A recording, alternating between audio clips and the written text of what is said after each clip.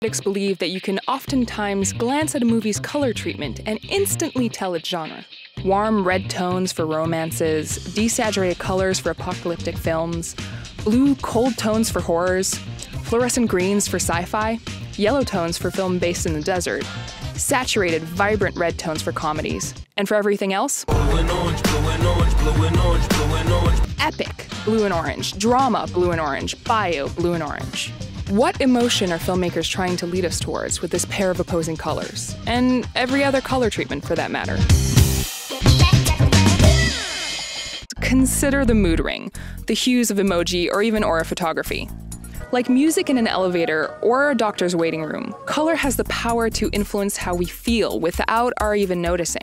Film directors have exploited our color connection for decades. In fact, there's a rulebook of emotions that colorists, the people who manipulate the colors of film, follow. Our response to color varies depending on culture and context, but here are a few examples of familiar emotional applications of color.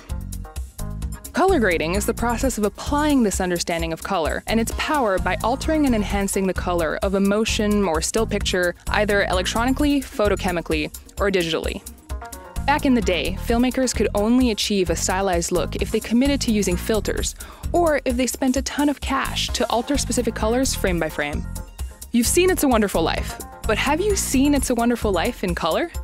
Now that everything is shot digitally, color grading is less expensive, more accessible, and flexible.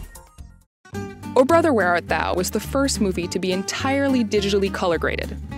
The story took place during the Great Depression, so cinematographer Roger Deakins applied a warm sepia tone to the whole movie to make us feel like we were in the dirty 30s.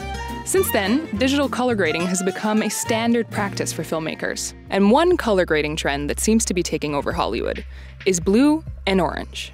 There are a lot of theories out there, but one leading theory is that this color treatment makes actors pop against the background. On the color wheel, skin tones are mainly in the orange range, and the complementary color of orange is blue. So when you take your orange toned actor and then push everything else into the opposing color range, this contrast leaves you with the Hollywood look.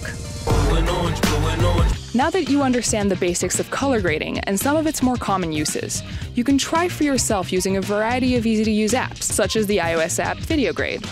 We decided to test out these color grading theories with some of our own footage. We picked a shot and gave it different treatments to explore how much we could change the mood of the scene. You be the judge.